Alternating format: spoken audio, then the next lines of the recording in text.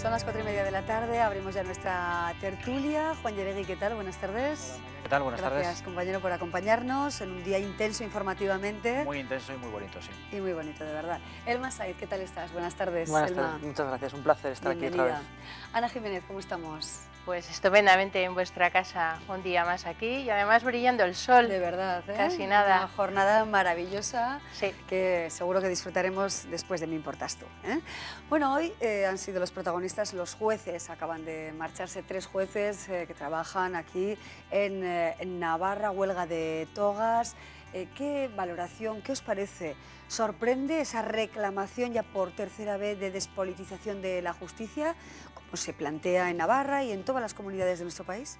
A mí no me sorprende porque yo creo que la justicia está pasando un momento delicado, como prácticamente todos los sectores que componemos este país, pero la justicia yo creo que con más razones y me parece que, que los jueces tenían que, responder ¿no? ante las políticas que, está implantando el, el ministro Alberto Ruiz Gallardón. Yo creo que era previsible que en algún momento pues, iban a hacer una convocatoria de este tipo y vamos a ver ahora cuál es la respuesta del ministro, ¿no? porque al margen de lo que ha trascendido o de lo que más ha llegado a los ciudadanos, que tiene que ver con la ley de tasas, hay muchos aspectos de orden interno, de funcionamiento de los jueces, del trabajo que están realizando, de los módulos, de todo lo que han explicado, que yo creo que, que necesita una buena organización y vamos a ver en qué queda esto, porque yo creo que es un pulso bastante interesante y muy importante para la sociedad. Tercera vez que salen a, a la calle los jueces. Eh, Elma Said, que además es abogada, eh, comprensible esa, esa huelga. Hombre, comprensible y sobre todo respetable porque además ha puesto de acuerdo a mucha gente. Quiero decir que eh, bueno, el derecho a la huelga es un derecho que hay que respetar, pero cuando además eh, parece que, que ahí son muchas las personas coincidentes en que, en que se están tocando pilares importantes de, como la tutela judicial efectiva, derechos de los ciudadanos y de las ciudadanas de este país, pues yo creo que desde luego como ministro, como ministerio, por lo menos yo sí que me dedicaría a una, una buena reflexión a ver qué está pasando y qué, cuáles son las medidas, porque es un pilar fundamental en el Estado. Estamos mirando todos los días a la justicia, no solamente por, por el quehacer diario de los ciudadanos, sino también pues, por todos los casos de, de corrupción que, que estamos viendo y, y, bueno, y son pues, muchas las necesidades para poder eh, bueno, pues, también garantizar ese Estado social eh, de justicia y de derecho que tenemos. ¿no? Mm, El fiscal general del Estado, por cierto, está Sí. hoy en Pamplona y apoyaba también ¿no? Esta- estos planteamientos. Yo totalmente, bueno, creo que no solamente porque tengan el derecho los jueces y fiscales a, a ir a la huelga, sino que ya digamos que es como casi una obligación de que se manifiesten eh, y se posicionen con lo que este ministro, el señor Gallardón, está haciendo. Ha llegado aquí como un elefante, quiere dejar su impronta y en estos momentos pues la justicia desde luego tiene que pegar un giro y un cambio, como bien decíais los dos. eh, estamos en un momento donde eh, hay corrupción, hay desahucios, etcétera, etcétera, están desbordados de trabajo. Y bueno, yo por un lado lamentaría hoy que no todas las asociaciones de jueces y fiscales han allí- hayan ido juntos a esta huelga, ¿no? Eh, no en contra solamente de las tasas, sino como bien has dicho Elma, hay muchas más cosas por detrás de ello y lamento, bueno, pues que la asociación más, digamos, conservadora de ellos haya quedado ahí en la trastienda del grupo de jueces y fiscales, eh, a tener muy en cuenta. Sí, yo creo que en eso influye lo que hablaba antes Amaya de la politización de la justicia, ¿no? que no se mantiene al margen como a lo mejor nos gustaría a todos de- del juego político. Y por precisar un poco la visita de, del señor Torres Dulce, lo que ha venido a comentar es al hilo de la corrupción que, que señalaba Elma que él ha pedido al ministro Ruiz Gallardón más medidas de apoyo para la Fiscalía Anticorrupción, para la Fiscalía de la Audiencia Nacional, para las fiscalías de las distintas comunidades autónomas, porque el volumen de casos de corrupción que les está llegando es desmesurado y están teniendo un trabajo que no pueden asumir prácticamente. Bueno, Claro. ¿cómo está nuestro país? Y sobre cómo está nuestro país, desde luego, se han escuchado diferentes voces. La voz del presidente del Gobierno, Mariano Rajoy, en el Congreso de los eh, Diputados, ¿no? que ha anunciado además eh, algunas nuevas medidas precisamente para paliar este mal endémico, parece, ¿no? en nuestro país. Vamos a recabar los principales eh, momentos de ese debate del Estado de la Nación y lo analizamos, ¿de acuerdo? Lo vemos. El clima de opinión sobre nuestra economía mejora ostensiblemente en las instituciones y los mercados internacionales, pero no es suficiente. No es suficiente, señorías. Por lo tanto, nada de brotes verdes, ni nubes pasajeras, ni anticipos primaverales. La realidad económica y social de nuestro país es terriblemente dura. Para los que piden una cierta relajación porque el proceso de cambio ya está en marcha, mi respuesta es ni un minuto, ni un solo minuto de relajación o sosiego. Nadie apostaba por España hace un año, nadie. Pues bien, nadie desde fuera piensa hoy que España no logrará salir adelante. Esa es la diferencia que va del 2011 al 2013. Hemos dejado atrás la inminencia constante del desastre y ahora comenzamos a ver despejada la senda del futuro. El déficit público del pasado año 2011 ha estado por debajo del 7% del Producto Interior Bruto. Las cuatro claves, podríamos decir, de la mañana en el Congreso de los Diputados. Eh, Juan, se ha hablado de corrupción, de economía. Parece que la situación, desde luego, no va a peor, por las palabras del presidente, entre otras cuestiones. Sí, yo creo que se ha hablado de todo eso, pero me da la impresión de que en otro idioma o en otro planeta, ¿no? Porque eh, yo creo que las 350 personas que están en el Congreso de los Diputados eh, viven una realidad distinta a la de la inmensa mayoría, ¿no? Cuando el presidente dice ni un minuto de relajación, ¿quién está relajado? No creo que sean los casi 6 millones de parados, los que están angustiados porque empieza un ERE esta tarde, otro mañana, otro al día siguiente. Entonces, no acabo de entender muy bien todos estos mensajes a quién van dirigidos, más que a los 350 que están en esa sala, más los periodistas que lo cubren, más los invitados. Yo creo que es, el discurso está muy alejado de lo que los ciudadanos vivimos día a día.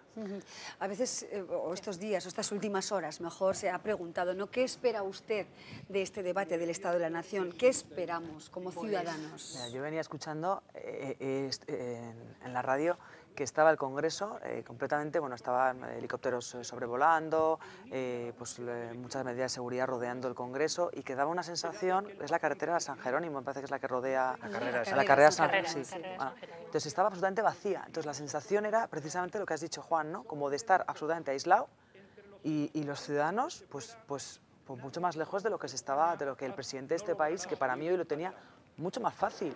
Si es mucho más fácil presentarse y contar y, pedir perdón y decir que, están trabajando todos los días porque no, no sé, ha descrito una situación que, parece mentira, ¿no? Que, bueno, bueno, bueno. Ha perdido una buena oportunidad, en mi opinión. el presidente en sus medidas, las medidas que plantea, económicas, contra la corrupción, la reclamación de ese pacto contra la corrupción? Yo creo que según lo plantea en absoluto. Y el discurso que ha hecho de debate sobre el Estado de la Nación es un discurso triunfalista, utilizando la estadística en su vertiente más demagógica. ¿eh? No está, está completamente alejado de la realidad. La descripción que has hecho tú es como aquello que fuese un búnker. Creo que a los 350 diputados que tenemos ahí habría que aplicarles prácticamente a todos un serio correctivo. ¿Eh? de que se pongan a trabajar sumamente en serio ¿eh? y que trabajen por lo que es, por este país y que están ahí gracias a, gracias a este país. Que diga nuestro presidente que, vamos mejor, claro, cuando utilizan las cifras estadísticas de esta manera, claro que vamos mejor. Estaba diciendo que nos alejamos de la senda de la destrucción. Bueno, pues lo tendrá que demostrar bastante mejor, porque a la gente que de a pie y que estamos en la calle, para nada tenemos en absoluto esa percepción. Si dejamos la senda de la destrucción, estamos hoy en la senda de la corrupción. Entonces esto, por favor, que nos lo explique mejor. ¿Y qué vamos a esperar en un debate sobre el Estado de la Nación con un partido que gobierna que tiene la mayoría absoluta y que no se abre a un diálogo eh, bien hecho con el resto de los partidos, también la oposición es que es más que criticable en ello. Entonces, no pueden llegar a pactos, no pueden trabajar conjuntamente, no están acostumbrados a ello ni tampoco lo quieren. Y algo que también he echado en, en, falta por parte de nuestro presidente es que no tienen autocrítica. Vamos, están elevados en los altares. Esa cuestión que ha comentado Ana eh, ha hecho referencia a ella el portavoz de, UPN, Carlos Salvador, en la valoración posterior al discurso que decía haber echado en falta una mano tendida a la oposición, ¿no? al Partido Socialista, para salir de, este momento tan comprometido que, vivimos. Por otra parte, Usue Barcos de, de y la otra diputada Navarra, junto a algunos más, porque son cinco, eh, pues ha sido más, más crítica ¿no? con, con, el discurso de, de Mariano Rajoy y yo creo que los tres coincidimos eh, con más o menos grado de crítica, pero sobre todo lo que yo pienso tiene la percepción toda la ciudadanía es que los políticos están muy alejados, pero muy alejados de lo que pasa. No ha hecho ninguna mención a la sanidad, no ha hecho ninguna mención a ningún tipo de medida en política social, no ha citado, si es tan fácil, citar algo, como tan clamoroso como el caso Bárcenas, ¿no? que, además hoy precisamente cuando, cuando la fiscal... corrupción, pero, bueno, pero es que parece como que tiene cierta habilidad, en parece como que no pasa nada, y una cosa es eludir dentro de la táctica política y, el, y esta, pues esos dotes parlamentarios de, de pues, usar la dialéctica para, bueno, para enriquecer el debate político, una cosa es esa y otra cosa es parecer que estamos hablando de otra cosa y tomar un poco a los ciudadanos y a las ciudadanas como si fuéramos extraterrestres, cuando quizás igual pues el, el extraterrestre o el extra... Son ellos más bien. Es quizás el, presidente, ¿no? Que, están alejados, están alejados de la realidad, vamos, parece que viven absolutamente en otro planeta que está ahí en el Congreso de los Diputados y en sus, y en sus casas. Yo no estoy de acuerdo contigo que en un debate de la nación tengan que sacar un tema tan concreto como el caso de Bárcenas o algún otro, sino hablar de corrupción, porque anda que no tenemos casos. Vamos, eh, esto es más que jugar al mosque. Quiero decirte, Ana, que, que, que, bueno, que no costaba, que parece como que es. Pero es que entonces tendría que nombrar el, caso Bárcenas, el mm, caso Pokémon, el caso no, eh, Nos, etcétera, etcétera. Que es que tenemos, tenemos peso, peso específico, cuantitativo y cualitativo en ello. También hay una cosa eh, en este debate, ¿no? Cuando dice las nuevas reformas que se van a hacer para intentar pues el trabajo, para emplear a menores de 30 años. Pero señor, ¿qué pasa con los que son de, más de 30 años y además muy cualificados? Que nos hemos gastado todos muchísimo en la, en la universidad, en su formación de grado y posgrado, y los tenemos fuera. ¿Y luego qué pasa con esos de 40 para adelante, bien formados, cualificados y además con experiencia profesional? y que no me da ninguna solución para eso. Alguna medida no me da. concreto, ¿no? Se aprobó en Europa la semana pasada. Eh, y, bueno, ya se anunció que se iba a tomar una medida para incentivar el, empleo juvenil, que es uno de los principales talones de Aquiles de, nuestro país, no en otros, pero efectivamente hay muchísimas personas pues en la franja de 40 45 años que pierdes el empleo y casi pierdes, pierdes tu vida. ¿no? Yo creo que hoy, en vez del debate sobre el Estado de la Nación, podríamos haberlo titulado el debate sobre el rescate de la Nación, ¿no? porque yo creo que vivimos Bueno, también un, poco por, apuntar algo también positivo y además el propio, la propia portavoz del Grupo Socialista ha dicho ¿no? que hay medidas que decías tú que la, la oposición tiene también es muy criticable, bueno, hay medidas que se van a estudiar, o sea, la posición, por lo menos la que hace el Partido Socialista en este caso, no es el no por el no. Me refiero a medidas, por ejemplo, interesantísimas, que habrá ciudadanos que las habrán escuchado y desde luego que yo creo que no hay que echar por tierra, como un régimen específico en el IVA a partir del año que viene, en que solo se tenga que declarar, e ingresar en Hacienda el IVA de facturas que se hayan cobrado, que eso sabemos que está ahogando a muchísimos eh, autónomos, a muchísimas eh, pequeñas empresas, o sea, que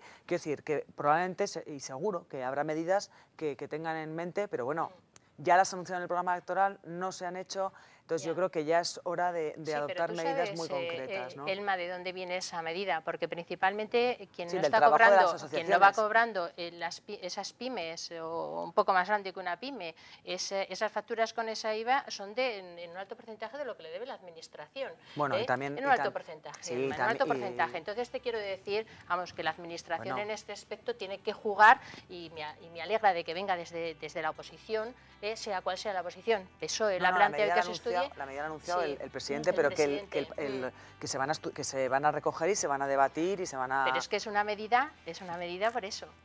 bueno, nos quedamos con esas reflexiones hoy sobre el debate del Estado de la Nación. Tenemos que hacer hoy nuestra tertulia un poquito más eh, reducida, pero hemos analizado al menos las claves más reseñables de lo dicho hoy por el presidente de nuestro país. Juan Yeregui, muchísimas gracias. Gracias a ti, me quedo con lo que decía Ana, que hoy ha salido el sol, a ver si es un buen síntoma, una buena ojalá, señal. Ojalá, sea.